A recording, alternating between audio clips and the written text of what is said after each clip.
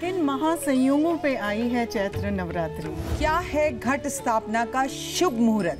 घर में कहाँ करें कलश स्थापना? नवरात्र में कैसे रखे व्रत?